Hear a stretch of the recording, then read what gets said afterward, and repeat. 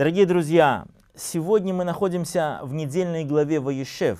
На самом деле это прошлая глава, прошлое толкование, но тема настолько важна, что я хотел поднять несколько серьезных уроков и поговорить, надеюсь, будет полезно для всех. Я забыл сказать, Оазис Медиа, наш мессианский сайт, всегда рад вам. И будьте с нами, подписывайтесь, участвуйте в наших передачах, присылайте нам ваши комментарии, ваши пожелания. Всегда приятно слышать. Мы сейчас проходим процесс модернизации, надеемся, что это будет здорово. Э, Ваешев. И 37 глава Бытия. И Яков поселился в Ханане, в стране, где прежде жил его отец.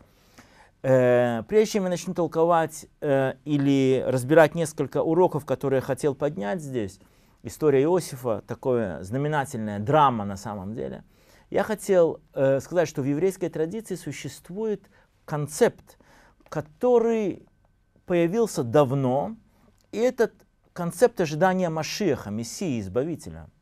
В еврейской традиции к Мессии подходят с двух сторон, и очень часто, если вы читаете какие-то еврейские источники, говорится о двух Мессиях. Машиах бен Давид, сын Давида, и Машиах бен Йосеф, сын Иосифа. И, или даже точнее, сначала идет бен Йосеф, а потом бен Давид. То есть один подобен Иосифу, страдающий Мессия, а второй, подобный Давиду, который придет и восядет на престоле, чтобы руководить, побеждать, завоевывать, отбиваться от врагов, устанавливать царство. На самом деле, эта недельная глава Ваешев как раз и говорит на эту тему. Но вначале я хотел разобрать одну темку, которая тоже к этому подходит, чтобы лучше понимать, почему именно возникла вот эта идея двух мессий. Когда-то я уже разбирал эту тему более объемно, но сейчас просто напомню, будет полезно все равно. Э, существует еще одно выражение в иврите «педион» и «геула». «Педион» от слова «поде» или «задаток». Когда ты приходишь в магазин, тебе понравилась какая-то вещь, но у тебя нет всей суммы денег – и ты оставляешь какую-то сумму, там, допустим, 200 рублей, 200 долларов, 200 шекелей, она стоит там 1000. И говоришь, я через неделю, через две или там через три дня приду и доплачу все остальное. Через несколько дней ты приходишь, ты уже в своем сердце готов, все нормально, деньги собрал, отдал и забрал эту вещь. Так вот, задаток, педион на иврите. А вот когда ты забираешь все, вот дело совершилось. Знаете, э, эта идея задатка и завершения очень актуальна в еврейской истории. И, наверное, она берет свое начало и очень красиво описано в пасхальной истории. Помните все пасхальную историю? Народ израильский в Египте под страшным давлением взывает, Бог посылает Моисея, 10 казней. Перед десятой казнью Господь говорит Израилю, вы заколите ягненка, помажете косяки дверей кровью ягненка, и ангел-губитель, проходя, вас пощадит, если увидит на косяках дверей кровь, ваших первенцев пощадит. А если вы помните, всякий раз, когда Моше приходил к фараону, вещь, которую он требовал у фараона, отпусти мой народ, народ хочет совершить Господу служение, выйдя из Египта, принести жертвоприношение пред Господом Богом, уже как бы в, другой, в другом месте, в другом состоянии мы хотим поклониться Господу Богу. Смотрите, э, как раз вот это вот задаток и выкуп, полноценный выкуп, или педион и гиула, Педион это задаток, а гиула выкуп, искупление. Как раз совершились вот как раз в этой пасхальной истории. Ягнят закололи, как бы задаток заплатили за себя, за своих первенцев. Но когда народ израильский вышел и уже принес перед Господом жертвы, и Господь Бог объявил, сейчас ты амховши, ты сейчас мой народ избавленный, свободный, освобожденный, совершается гиула. Вы знаете, в приходе Иешуа присутствуют как раз эти два момента. Две тысячи лет назад, когда он пришел, он по сути заплатил за нас педион, задаток. И Господь подтвердил это, дав нам в задаток Святой Дух. Конечно, тогда уже было произведено полное искупление. Но внутри нас педион оставленный, это Дух Святой. И в посланиях апостола Павла эта тема очень здорово открывается. Еще пришел как ягненок пасхальный и заплатил за нас цену, но полное искупление, то, о чем написано в Римлянах 8 главе, мы станем народом свободным, там, где написано, все творение воздыхает Господу Богу и ожидает искупления, восстановления, избавления, когда совершится Геула. Так вот, первому явлению Иешуа очень соответствует вот это выражение «Мессия, сын Иосифа», который пришел в страданиях. Потому что жизнь Иосифа, мы сейчас через момент рассмотрим ее, она была отягощена страданиями. А когда Иешуа придет во второй раз и избавит нас, он будет как Бен Давид, Машиах Бен Давид, который придет, восядет на престоле Давида, царском, воинственном, когда враги отпрянут назад – совершится Гиула. На самом деле именно такой подход поясняет или отвечает на вопрос некоторых ортодоксальных иудеев, которые говорят, если вы действительно уверены, что Иешуа Машиах, то почему в мире до сегодняшнего дня существует столько болезней, столько бед, столько войн, столько несчастий. Если он Мессия, он же должен принести совершенный мир. Ведь мы верим именно в такого Мессию. Именно вот этот принцип Педион, Геула, задаток и выкуп. Или Машиах бен Давид, Машиах бен Йосеф как раз отвечает на этот вопрос. Вначале пришел как бен Йосеф, подобие Иосифа, страдал за своих ближних, а потом пришел как, придет как Гоэль, избавитель, который, подобно израильскому народу, в пустыне оставит наедине с собою и скажет, я ваш Господь, а вместе со мною, давайте станем перед Творцом миров, давайте воздадим Ему славу и честь, потому что сейчас искупление ваше, вот совершится Гиула. И там будет, разумеется, не только один Израиль, но всякий прилепившийся к нему через Иешуа, как написано, веселись, Израиль, и с тобою прилепившиеся к тебе люди. Написано в Ефесянах, через него вы, бывшие далеко, стали близки, и много других мест подтверждают вот это вот величайшее, славное избавление. В Откровении на эту тему очень много говорится, когда говорится, и видел я реки народов, мириады народов, с разных племен, с разных языков, которые торжествуют перед Богом. Там на Голгофе был задаток, Педион. И Иешуа был как Бен Йосеф – когда совершится вот это полное восстановление, эта картина изменения, когда он воссядет на царском престоле, вернется в славе, совершится Геула, и мы увидим его как Мессию, сына Давида, побеждающего. В ортодоксальном иудаизме это два разных человека, но по Новому Завету, по пророчествам, по Писаниям мы видим, что все сводится к одной личности, которая дважды должна прийти. И, кстати, вот это дважды прийти совершенно не чуждо еврейской природе и еврейскому пониманию священных писаний. Также про Илью говорят. Раз пришел, второй раз ожидают его. Так если Илья должен прийти второй раз, ему даже во время пасхальной церемонии ставят специальный стул, специальную посуду, то Машиах, Избавитель, тоже может прийти дважды. Об этом мы читаем в Новом Завете, и об этом мы сейчас немножко изучим из священных писаний. Итак, все это было предисловие. И урок первый про образы. Про образы. Когда мы читаем 37-ю, 39-ю, не 38-ю, про 38-ю главу Бытия поговорим позднее, 40-ю и 41-ю, мы видим интересную, 42-ю главу, мы видим интересную, интересную историю простите, которую разворачивают перед нами священные писания. Вначале оно как бы говорит так немножко, и Иаков поселился в Харане, вот поселился, на иврите Ваишев, сел, дает нам как бы подумать, вот как бы спокойствие какое-то. На самом деле здесь такая драма. И здесь начинается про Иосифа рассказ. Иосиф, любимый сын, особенные одежды ему отец дал. Он был очень даровитый человек – говорил пророческие сны.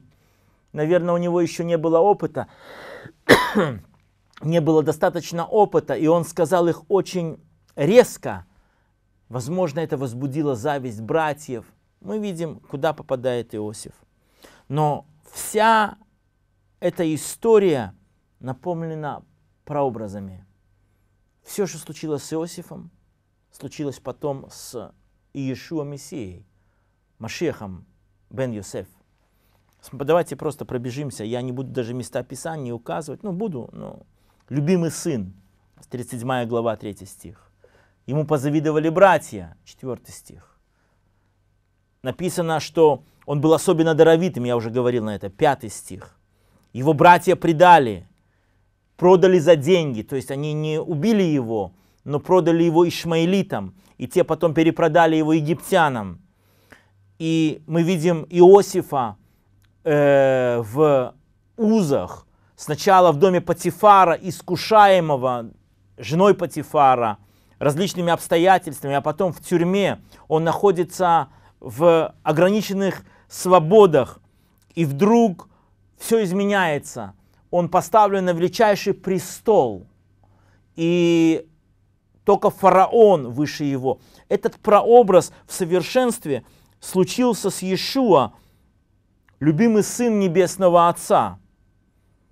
Ему завидовали многие лидеры страны. И по сути, все то, что случилось с Иешуа, включая нечестивый суд, который происходил в доме Анны Каиафы, это все зависть, подобно зависти братьев. Он продан за деньги. То есть Иуда предает его за деньги. В случае с Иосифом его не убивают, но кидают в яму – которая символизирует смерть. И по сути вначале хотели убить его. Иешуа предают на смерть. Он проходит все это с невероятным терпением до конца, проходя поприще. И написано, за претерпение смерти сей удостоен величайшей почести, из грязи в князи. Он посажен по правую руку Творца восев по правую руку Творца, он становится властелином. В Псалме 8 сказано, «О человек, что ты думаешь, Господь, о человеке? Немного умолил его ты пред собой». То есть Псалом 8 говорит, что человек, по сути, был сотворен немного умаленным пред Творцом превыше всех других творений. Мы этого, разумеется, не видим в нашей повседневной жизни, и даже в Писаниях мы видим силу ангелов, превозносящуюся над силой людей. Но Иешуа, в Ефесянах написано, восел превыше всякого престола, как раз то, о чем Псалом 8 говорит, только престолом Богу Отцу. Он ниже этого престола. А все остальное положено под его ноги. Точно как случается с Иешуа. Есть еще одна параллель, про нее мы поговорим чуть позднее. Я назвал ее тайна трех букв Юд, но чуть-чуть позднее об этом. А сейчас я хочу оторваться на интересное вкрапление. Логика нам подсказывает, что 37 по 42 и так далее главы должен быть прямой текст, который говорит про Иосифа, от его уничижения к его славе и примирению с братьями. Но почему-то священное писание – вставляют сразу после 37 главы, там, где братья продают Иосифа, вдруг начинается одна глава про Иуду. Логически, ну хорошо было бы это сделать после всех этих глав. Вы знаете, вот это вот вкрапление как раз и подтверждает интересную идею. Мессия бен Иосифа и, и Мессия бен Давид – а Давид, он из колена Иуды. И вот здесь в 38 главе как раз разворачивается еще одна драма. Мы начинаем читать. В ту пору Иуда, оставив братьев, поселился рядом с одним Адуламитом по имени Хира. Там ему приглянулась дочь некого Шуа, Хананея. Иуда уходит от своей семьи. По всей видимости, совесть его замучила. Он был сильнейшим среди братьев. И, по всей видимости, вся та грязная тема с Иосифом, он там был замешан. Не удержался в святости, не удержался в рассудке. И попустил этим мыслям братьев, давайте избавимся от одного из нас. А он был старшим и, наверное, не мог просто свободно смотреть на своего отца. В какой-то момент времени он собирается и уходит. И он отделяется от братьев, начинает заниматься бизнесом с людьми там в округе и женится на хананиянке. Это вообще было не в еврейской традиции жениться на хананеях. Почему? Хананеи были народом крайне испорченным. Уже потом, когда израильский народ выходил из Египта, было повеление от Господа Бога уничтожать всех хананеев, от мала до велика, потому что их испорченность не поддавалась лечению. Я не буду на эту тему говорить, в каких-то прошлых лекциях я эту тему поднимал, но здесь мы видим, что Иуда делает вот эту грубощ, грубейшую, глубочайшую ошибку. И он женится на хананеянке. Это, наверное, наставление всем нашим детям, сыновьям и дочерям. В Господе Боге выбирайте себе жениха или невесту. Ищите людей достойных, не тех, которые поклоняются идолам или отвлечены от Бога. Понятно, сейчас нету таких, как Хананеи, но все равно много людей, которые просто явные бунтари против Творца. Избегайте с такими жениться. Иуда сделал эту ошибку. Написано, она забеременела, его жена, и родила ему сына Эра, и потом еще одного Анана и Шелу. Еврейская традиция говорит, что Эр это имя ивритское. То есть Иуда еще сожалеет и пытается вот свою семитскую линию проводить Эрат, в смысле Лаир, э, пробуждаться, бодрый. Но Анан и Шел это явно, явно хананейские имена. На каком-то этапе мы читаем «И взял в жены своему первенцу Эру Иуда девушку по имени Тамар», 6, 6 стих. Тамар. Тамар это от слова тамарим, финики, финиковая пальма, семитские языки. И комментаторы, ортодоксальные комментаторы, э, древние комментаторы говорят, по всей видимости, она по происхождению от Шема, Сима или Эвера, то есть линия самого Иуды, Авраама, Ицхака, туда вверх. И Иуда как бы пытается исправить ошибку, он женился не очень. Дети, но хоть во внуках я продолжу ту линию и то призвание, которое Господь дал моим детям и э, Господь дал моим предкам. Но написано, Эр был неугоден пред Господом. В чем он был неугоден, мы не знаем. Наверное, хананейская кровь поднялась в нем. Потом Онан, он изливал семя и умертвил его также Господь. Почему они это делали? По всей видимости, зная призвание Авраама, Ицхака, Якова, Иуды, не хотели, чтобы их потомки, то есть хананейская в них жило больше, восстание против Господа Бога, умертвил их Господь. И вот Тамар остается одна. Тамар с семитскими корнями, то есть с верой, сильной верой.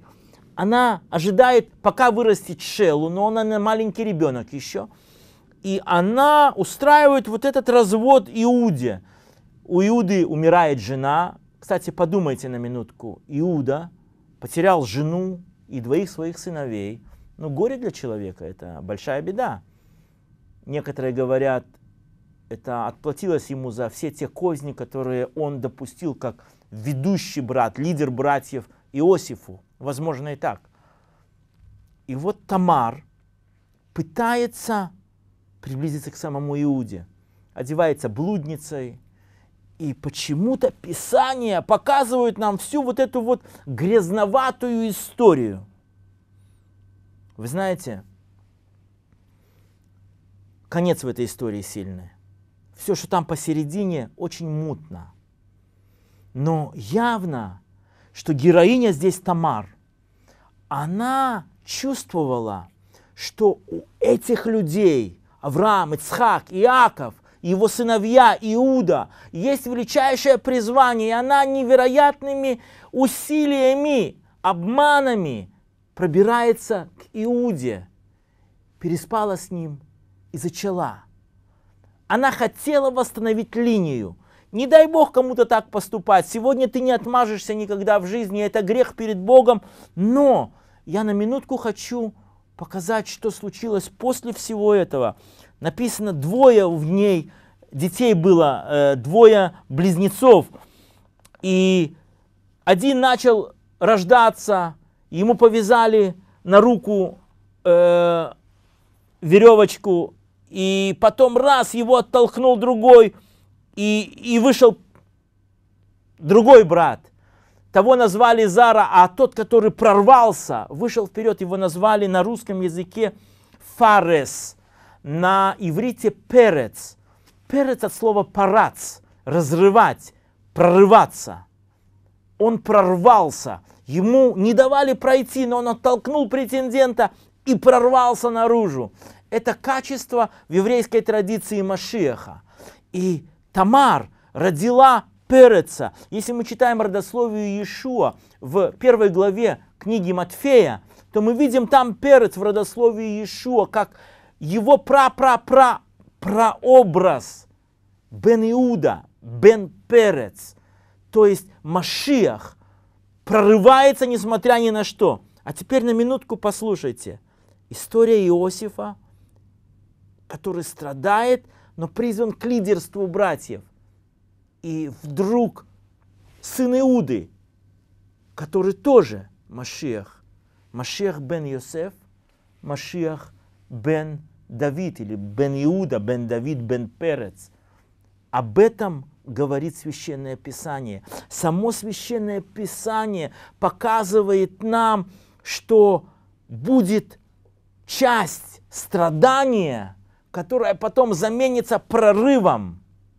В Господе Иешуа совершилось и то, и другое. Полноту прорыва Переца мы еще увидим. Это перед нами. Только нужно терпеливо ждать.